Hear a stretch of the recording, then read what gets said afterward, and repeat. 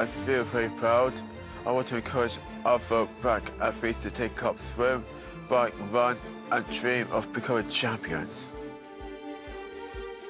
مادر دقیقا معنای زن زندگی آزادی بود یعنی زنی بود که زندگی ساخت عشق داد در راه آزادی هم رفت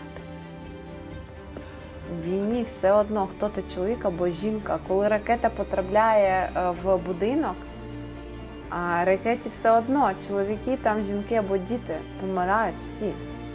Inspiring short films from the BBC. Watch now on iPlayer.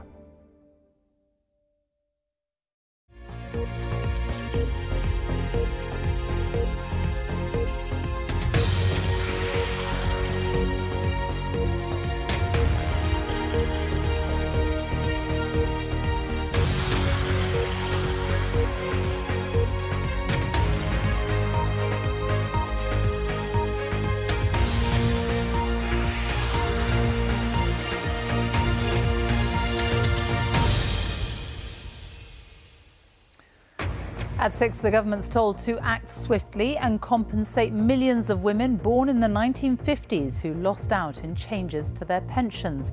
Campaigners say lives have been ruined, with many women pushed into poverty because they weren't told in time about the rise in the state pension age. We're on the way to a future interest rate cut, says the Bank of England, but not yet, as rates are held again at 5.25%.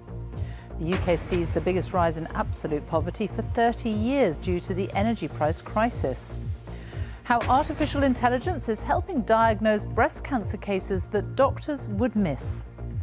And the largest gold nugget ever found in England and how it was unearthed. Coming up on Sports Day later in the hour on BBC News, who can stop England's Red Roses? They've named their team for the weekend as they prepare to start the defence of their Six Nations Grand Slam title.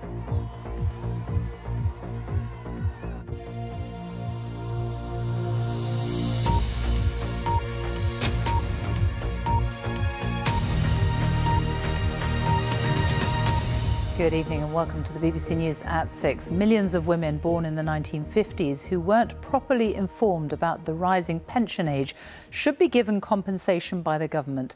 That's the recommendation from the Parliamentary Ombudsman, which has been looking at the impact of bringing women's retirement age in line with men's.